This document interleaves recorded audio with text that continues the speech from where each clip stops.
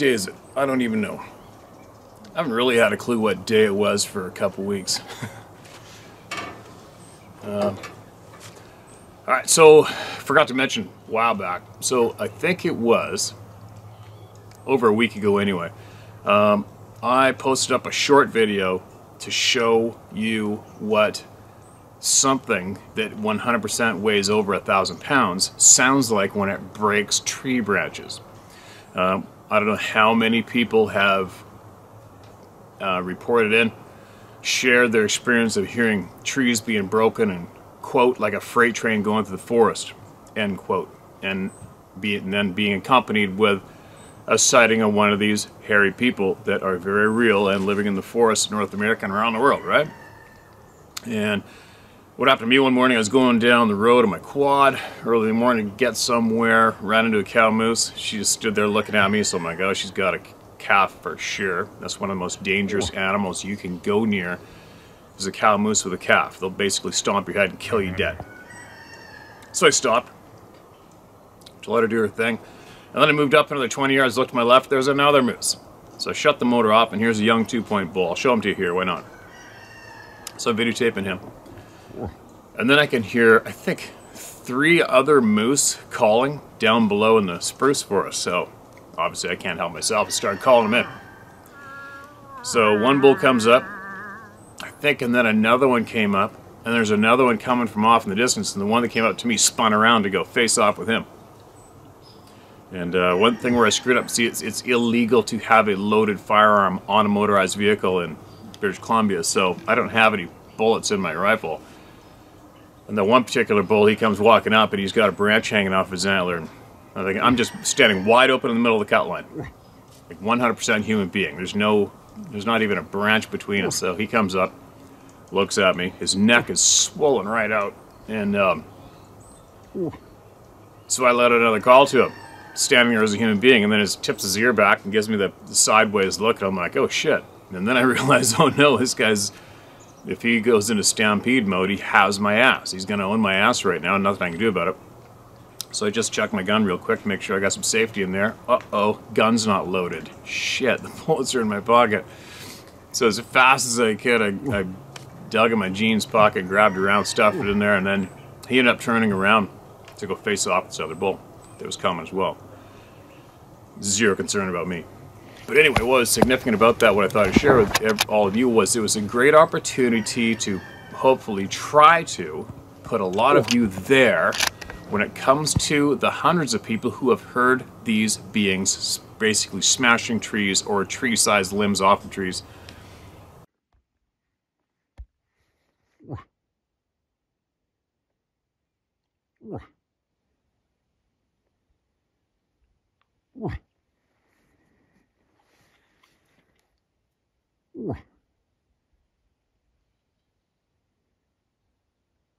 How's that tree doing on your antler?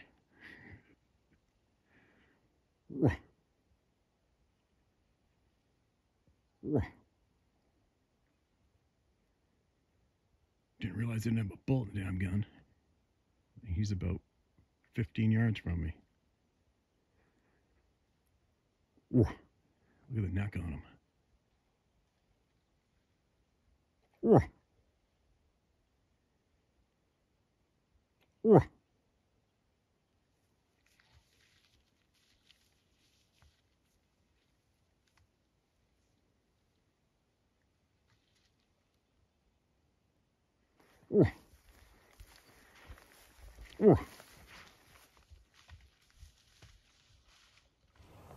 And uh, these guys either came together and clashed in a little bit, or else this, uh, this one big bull went down there and just unloaded his his aggression on a tree, and he did some major, serious, serious limb snapping down there. And I caught it all on video, but I only had my phone. I didn't have my video camera in my pocket, which I normally do. So I used my phone. Kind of bugs me because normally, automatically, I stick a, a high def video camera in my pocket at all times, no matter where I am, fishing or hunting. But I got it on the cell phone anyway. And it picked up the audio pretty good. The audio pretty good. So that's what that short video was about. I was trying to show everyone what it must be like to hear those massive branches being broken in the forest in front of you. Right? Pretty intimidating, isn't it? And coincidentally, for comparison, that is a thousand pound plus animal doing that damage to the trees. So, Here comes another one. It's gonna be a fight.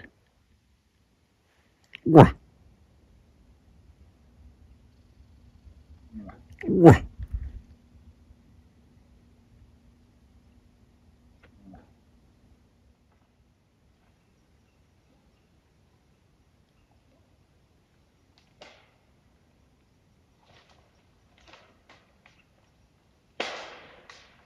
Shit.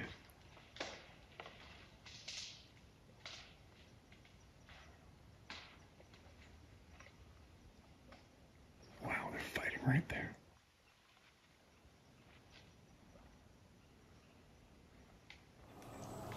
So if it, for the curious anyway, if you imagine hearing these sounds and then seeing something 8, 9, 10 feet tall, even more, right? Looking at you, pissed off.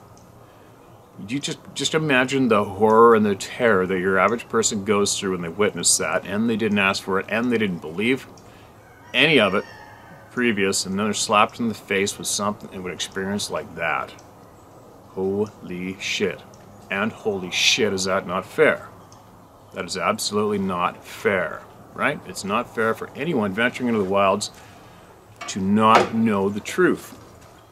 Well, you know, then again, I mean, let's face it, the more we learn every single day, the more we all are learning that we have not been the told we have not been the told been told the truth about anything. Right? Unfortunately. So that's why we're here again. But anyway, so here's I'll, I'll lace up these video clips together so that you can see exactly what happened, the full sequence, and uh, and have a go at that and picture. But when it comes to the noise they're making down in the timber, picture you being there alone, and all of a sudden you see a massive hairy hand or arm or leg that's probably four times the size of yours and it's snapping trees off. Picture that while that noise is going down. Not too cool, right? And then picture being that person and going home and telling everybody honestly because you're in shock and they all laugh at you. They'll start calling you names and laughing, ridiculing you, talking behind your back. People snicker at you in the small town you're from, maybe in school, your coworkers, they laugh at you. Then you got to deal with that, right? Absolutely ostracized from your peanut head community. And you didn't ask for any of it. You didn't ask for any of that shit. It's got to be so freaking frustrating, such a lonely place to be in, getting slapped in the face with these experiences and then shit on. To top it off, where you think you're probably in a safe place, whether it be family, or work, or your community, or even the police. And then next thing you know, you got nowhere to go, right? And you start questioning your own sanity. Did I really see it? Am I going crazy? What's wrong with me? Lots of people start drinking. Lots of people suffer PTSD. PTSD. Lots of people suffer depression, and we've even heard of people killing themselves. That's bullshit. Anyway, so while I'm sitting here, yes, that's my uh, that's my poultry barn I built back there. It's got all the chickens and turkeys in it. They're nearing the chickens are nearing ready. Ready time to be harvested, processed, whatever you want to call it. So, who do we got? Excuse me. It's a chunk of here's a chunk of an email. It's titled I apologize for first one. Steve, I want to just start by saying thank you for being there for all of us. We definitely appreciate you. And sorry about the first time even I ever wrote to you. I didn't put the punctuation marks where they belong, etc. All good, man. Now onto a little bit of of a hell of a lot more of sorry. Now onto a little bit of a hell of a lot of some things that have happened to me in the last 44 years. This definitely isn't the first one and has been the last. But this time last year, myself, my son Alex, and a friend of mine Austin went out to one of the ridges called Beauty Ridge to do some root digging. We got out there to the cemetery where Austin families buried at the park there. We walked over the hill and down into the holler. Well, as you start over the hill, there is a road that cuts through that. We ride four wheelers and dirt bikes, etc. Well, neither Alex or Austin have never dug roots before. So, I was showing them what's what. All once, Alex spoke up and said, What happens if we run into the Bigfoot, Dad? I told him, Son, we don't talk about that out here. We don't even try to think about that while we're out here. Now, I know a lot of people that can't get it out of their heads, but for some reason, I'm just used to it. But on another note, I never thought what was about to happen, what happened. We run into some cohosh. I show them what it is. I tell them, well, let's walk up and around this way and we'll cut over to the next holler. Well, Austin spoke up and took us down one of the trails that he thought led back around towards the car. I tried to tell him it didn't, but it was okay. We was root digging anyway, and he was, and we was there to enjoy ourselves. So we come up out of the holler. We walked probably 100 foot. The damnedest smell ever hit us right in the face. I already knew what it was. Alex did too. But there was no fear, so we went on to her right out the trail. Sorry, so we went on to her right out the trail. We come to this curb that went back to the right. As soon as we walk around this curb, there were seven different whistles five to the left, two to the right, trying to mimic birds. The very last one went from a whistle to one of the damnedest growls you ever want to hear. I turned to my right. I said, Look, we're not here to hurt you or nothing in that nature. We mean no harm. We're leaving. Austin had his little handgun with him, like a little 22. It wasn't bigger than your hand. And I told him, whatever you do, do not pull that gun out. I didn't realize how bad this was messing with him. So I'll tell him, let's go now. This thing's still growling. We take all back the same way we come. When we started walking, Austin was in front, Alex in the middle, and I'm in the back. By the time we get back around this curve, we stop again and realize Alex somehow got behind me. I look back and asked him, Son, why are you slowing down? How in the hell did you get behind me? I reached out and grabbed him, pull him around in front of me. Well, this pisses well this pissed me off. So I turned, facing my left side, looking into the woods where these things were, and I said, You're gonna kill me you're gonna kill him talking about talking about Austin, but I'll be damned if I let you kill my son. I don't know how, but I swear I'll kill you too. We will all die today, but my son will live. It went from a deep growl into a real low pitch growl. We started walking, made it back out to the main four wheeling road, and it finally quit growling at us. Them boys would not go back up in the woods, not even 50 feet. You could see the cemetery, and right where the car was parked, they would not get through it they stayed on that road and had to walk all the way back around, and I stayed with them. This creature never really showed itself. Just a brief glimpse of itself. And there's no doubt in my mind it was the leader of either the tribe or it had little ones, but them other whistles didn't sound so little. I've learned when there's small ones around, especially baby ones, them things can be very vicious. Austin hasn't went back in the woods since. He owns a lot of guns now, two hours after I dropped him off at his house, and the man didn't really say one word there. He called me and told me he was sorry for not believing me. I told him that he was fine because I understand. That was my son's first encounter out in the woods, but it wasn't his first sighting. He's all about it. And just so you all know, Alex is autistic. Was it coincidental? I don't know. My name is Jamie Douglas. I appreciate you taking out of your life to read my story and share it with the rest of the world. I'm sorry that it was so long, but this is just one encounter so many. Thank you, Steve. Keep doing what you're doing, buddy. You're helping a lot of people, and thank you. And there's a P.S. This is just for you, Steve. Please do not share at this time. All right, give me a second. Okay, man, gotcha. I read it. Appreciate it. And uh, if you want, all you have to do is send this video to your contacts that you mentioned in, in the rest of your email and let them watch it. All right? Let them watch it. And uh, if they feel compelled to contact me, if they want to share with all the people, they can do it through me if they wish or not. And uh, just let them know that they're not alone, right? And there is hundreds of thousands of human beings that understand and get it and have witnessed basically the same shit. And uh, from all those incidents that you have stated, if you want to write in some more, if you got some more in there that might be some some kind of significant puzzle piece for a lot of us here, then send it in, man. Take your time, write it out, do a little spell check or punctuation or whatever you do on the program, the email, and uh, and send it in. There's a lot of people that will be very interested in hearing what you got to share, right? So, thanks for your time sending that in. This channel's nothing without people like you, all right? All right, one more, then I'm gonna get going. It's gonna be a short one today. Hi, Steve. Oh, this is titled Sasquatch Encounter. Hi, Steve. I discovered your channel a couple months ago.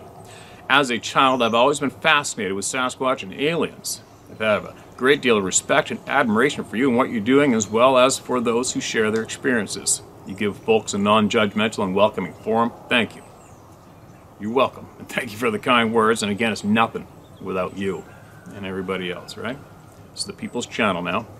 It's taken me some time to write in, not because I'm afraid, because I'm not very good at putting my thoughts into print. So here we go. About 15 years ago now, my brother-in-law invited me to go moose hunting. I'd never been, so as you can guess, oh yeah, I'm going moose hunting. I got to see a couple of moose, cow and a bull, for the first time that week, and was in awe. As we only had calf tags, all I could do was watch. I should also mention that this was in northeastern Ontario and fairly remote. On the last afternoon, one of the guys offered to take me back out for one last sit to a spot where I had seen a cow. He dropped me off and continued down the logging road.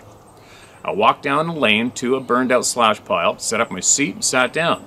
I should mention that in Ontario you must wear blaze orange while gun hunting for deer, moose, elk, and bear. I was in an open area and could see five or six hundred yards in most directions. I watched my partner drive over the hill. There was a patch of trees that came right up to the road on both sides. On my side, it was about 20 yards wide and about 60 yards long. The other side was a slope going up. I was sitting about 100 yards from that patch of trees. It was pretty uneventful sit until the last hour or so when I could hear sticks breaking coming from that small patch of trees. And then I heard what sounded like a horse blowing or snorting, snorting and sticks breaking. I looked intently to see if anything was moving in there, but couldn't see movement. Keep in mind, this is my very first time moose hunting. I had absolutely no idea what sounds a moose can make. They look like a horse. Why not sound like one? I was excited, thinking there was a moose coming, but nothing. I didn't feel threatened or intimidated at all. After about 10 minutes of this, it all stopped.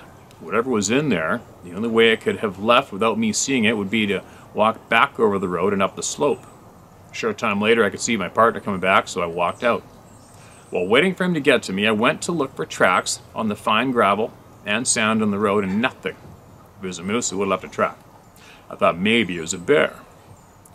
When we got back to camp, I tried to describe the sounds I heard to my brother-in-law. He had no explanation. Later, after supper, one of the guys was making fun of me about the horse sound. Not directly to me, though. What prompted me to write in was what prompted me to write in with this story.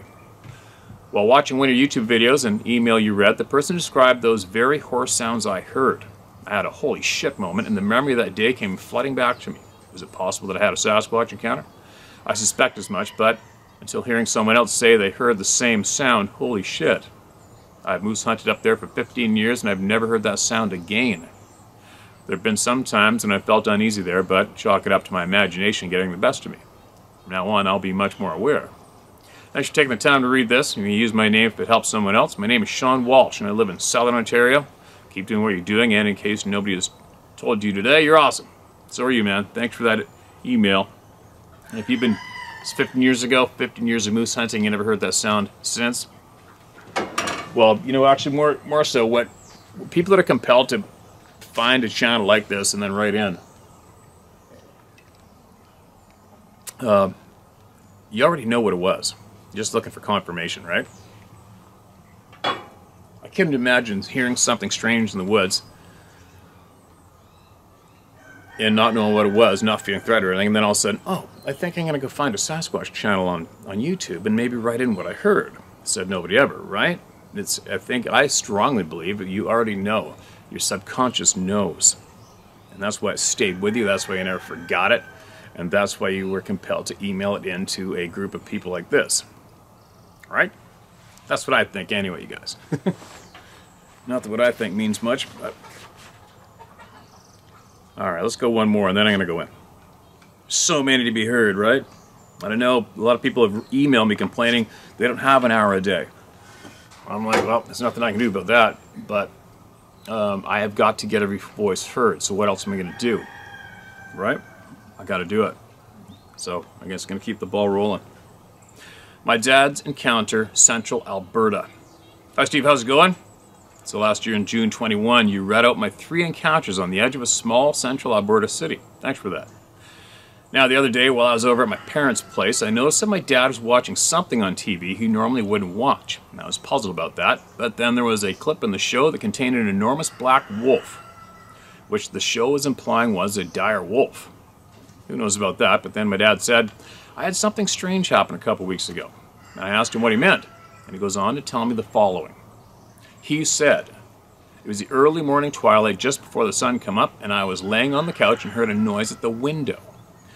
I got up, went to the side of the window, and pulled the curtains back enough to see, and there was an enormous Alsatian's head trying to look through the curtains into the house. An Alsatian is another name for German Shepherd. My dad is British, and that's what those dogs are called over there. I said to my dad, the bottom of that picture window is like seven and a half to eight feet off the ground, right? And he said, yeah, but that's what I saw.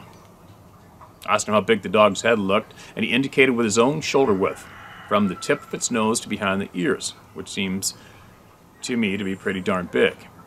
I went outside to look for tracks or pretty much anything, but only found a couple of indentations in the gravel where it looked like something could have been standing there. But there was nothing really definitive about those indentations except for the size and shape. They were oval shaped indentations, approximately 8 inches by 5 inches. I don't know if those were actual prints, but I do think that it was likely a dog man that my dad saw. So, draw your own conclusions as to what my dad saw. That, of course, is up to all of you. I will say this, though. My dad seems to have been affected by what he saw. I can tell. He's not saying everything.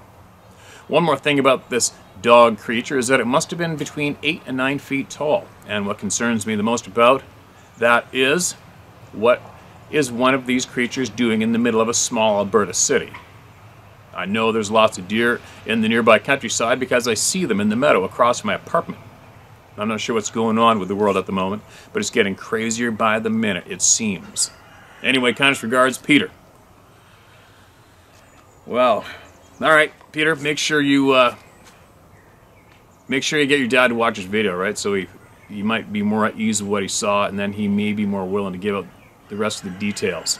All right, and then he's going to know he's not alone no one thinks you're crazy, and there's that hundreds, thousands of people who've seen the same shit without asking for it. And this is a 100% safe place to write it in. And uh, but I have had people email in that there is dogman sightings in Alberta. I think I've had one or two from BC, but it's not much. And I've never, I've never come across anyone in person in BC who's seen something of that description. So yeah, it's alarming as shit. Like I said before, I don't give a shit what anybody says. I see something eight feet tall with a dog or wolf head on it, and it's staring me down. It's getting a hole right between the eyes. I'm not going to waste two seconds. Right? If they don't want nothing to do with me, they will not stand there and stare me down like a predator. They'll put distance between the two of us in tenth of a second like every other wild game animal normally does. Right? Some people might think that's a little extreme, but it's not. It's the laws of the real natural world out there. You have a predator. Predator has its eyes in the front of its face. You got a predator staring you down. It's doing one of two things. It's either wondering if you're a threat or it's thinking about how hard it is going to be to take you down. That's all it's doing. And uh, grizzly bears, you see my videos, grizzly wolves, everything, they'll stare at you a little bit, but they run. They're like, uh-oh, I'm not into this shit. That's a frickin' filthy human being. I'm out of here. So, for all you who do not understand my stance on that, there you go. That's about as plain as an easy explanation as I can give. Something with a canine head, eight feet tall, muscular, man-like body, staring me down in the middle of nowhere. Maybe even growling, showing his teeth. Bang, flop. And if it doesn't bang flop him, well, at least I'm going to put some frickin' shit-eating holes in him before he ends my ass, right?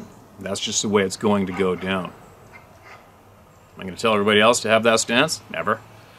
You do what you want in this lifetime, but that's what I'm doing. Anyway, you got more you want to email me, anyone? share my story how to hunt.com and I will get to it.